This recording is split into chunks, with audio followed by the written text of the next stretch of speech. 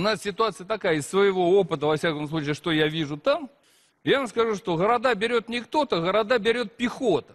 Это известная фраза и понятная. В мае прошлого года я пришел и в этой студии сказал, нам нужна мобилизация. Мне там говорили, ты аккуратнее с этим. В сентябре провели, поздно. И сейчас говорю, что нужна. Они мобилизуют всех. Миллион, два, три. У них стоит, это же ведь не просто человек, он с автоматом стоит, автомат на фронте. Но невозможно там 400-500 тысяч э, пройти то, что мы себе планируем, там на 3-4 миллиона. Их надо наоборот показывать в чистом виде, что будет с Киевом, как в Мариуполе. Или вы что думаете, мы сейчас остановимся? Они тоже скажут, ну ладно, все нормально, будет, будет мир. Не будет его, пока наши войска не будут на границе с Польшей. Людям нужно отдыхать, им нужна ротация, им нужна укомплектация и так далее, и так далее. Но это факты, которые нужны.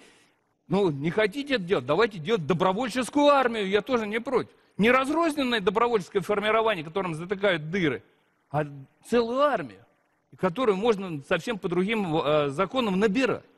Ведь линия фронта огромная. Без нареканий, без нареканий и упреков. Мы просим нашего губернатора Гладкова Вячеслава Владимировича, а также управление МВД по городу Белгород выделить нам стрелковое оружие для защиты родного города. Мы обычные, обычные жители. Мы не профессиональные военные, но наш патриотизм и сила русского духа позволят нам удержать город от наступления ВСУ. Блин. Тоже, увы, не шутка. Ведь хохлы смогли удержать Киев, когда им дали автоматы. Точно так же и мы сможем удержать Белгород, если вы дадите нам оружие. Мы готовы стать народной дружиной, которая будет оборонять мир и покой Белгорода от происходящих сил ВСУ. Вячеслав Владимирович, услышьте нас и дайте нам оружие. Мы покажем нашу силу. Враг не, не пройдет, победа будет за нами. Победим Украину.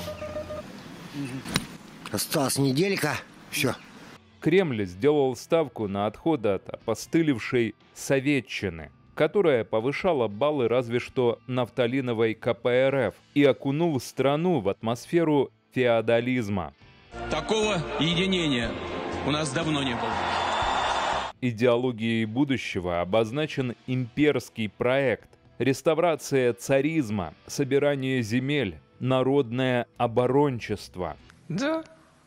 Фактически речь идет о подспудной смене режима в РФ, стремительной архаизации и азиатизации общества – этот праздник символизирует главную силу России – крепкие братские узы между различными народами и конфессиями. Наши противники, о которых я упомянул, люди с неоколониальным мышлением, недоумки на самом деле, не понимают, что именно, э, что именно это разнообразие делает наш, наш сильнее. И на, э, на конкурсе недоумков заняли бы второе место. Почему только второе? Это потому что недоумки. Вот. Да.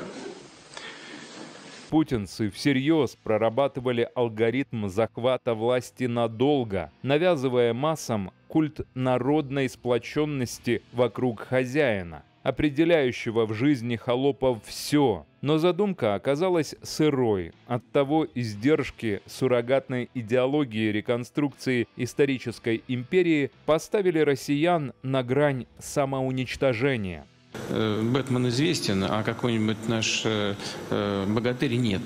Ну вот это должно быть в мультиках, в фильмах. Россияне максимально далеки от состояния единства. Сейчас творцы агрессивной захватнической войны против Украины, а в широком смысле против всей западной цивилизации, довели страну до состояния полного Сейчас столько сделала, пенсионерам по 10 тысяч дают. Ну как это может? Что мне их не 10 тысяч? Господи, прости. Надеюсь, его вообще сместят отсюда. Почему? А что? Ну, мне не нравится он. Да и многим не нравится, в принципе. Поводов быть хоть за что-то благодарными режиму у рядового россиянина нет. ЖКХ поднимается, елки, продукты все поднимают, елки, а пенсия пока стоит на месте. Социология показывает, что 97% населения плевать на консолидирующие потуги чиновников, агитаторов, Z-волонтеров и прочих могилизаторов. Потери Росавиации в два раза превзошли Афганистан – А Путин даже не знает, сколько мобиков кинули затыкать фронтовые бреши. Послу- Послушайте, это много, правда? Попытка жалкого радикала Медведева с удобного дивана глаголом «зажечь сердца черни» на правое дело выглядит кощунством.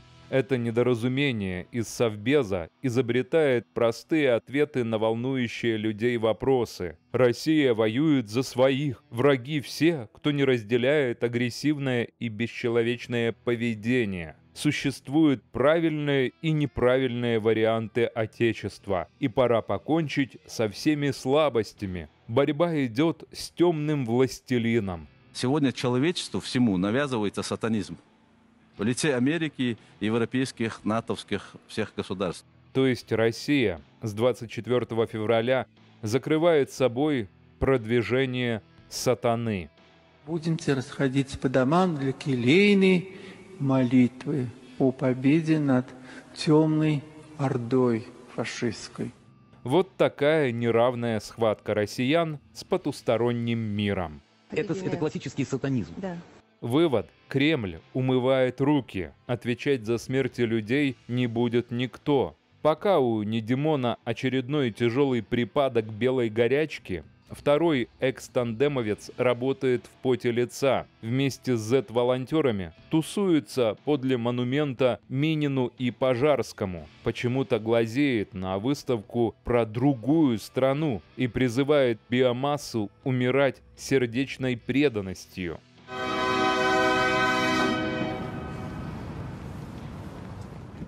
Путин спешит, словно боится не успеть, как будто за ним гонятся неумолимые перемены. И перемены эти все глубже, все фундаментальнее. В царстве фальши серьезные распри и ширятся пропасти расколов. Пока кто-то едет с Украины в пластиковых пакетах, кто-то озабочен своими миллиардами.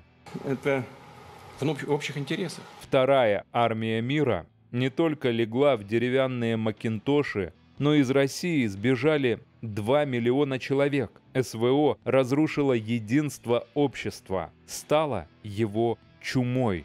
А мы что, русские? В кремлевском террариуме разгорается война силовиков. Пришло прозрение, что ФСБ втянула страну в ужасную войну, а потерь-то у Лубянки нет, смахивает на сжигание конкурентов из лагеря Шойгу. Вот это обычным перочинным ножиком. Вот просто, вот она снимается. Там про пулю даже слова нет. Вот, элементарно. Спасибо администрации Ставропольского края.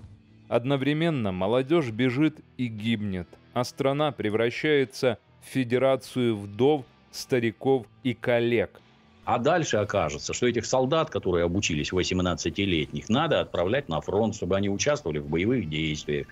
Не 40-летних мужиков призывать, у которых высшее образование, бизнес, жена, трое детей и что-то там. И гибель которых на фронте вы- вызовет необходимость платить пенсию жене, платить пенсию детям и прочее, и прочее. А вот 18-летних пацанов, как бы это цинично не звучало, а их придется отправлять. И никуда от этого не деться. Никуда.